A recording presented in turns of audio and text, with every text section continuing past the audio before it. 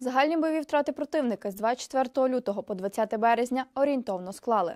Особового складу близько 14 тисяч 700 осіб, танків 476, бойових броньованих машин 1487, артилерійських систем 230, реактивних систем залпового вогню 74, засоби ППО 44, літаків 96, гелікоптерів 118, автомобільної техніки 947, кораблі та катери 3, цистерн з ПММ 60, БПЛА оперативно-тактичного рівня 21, спеціальна техніка 12.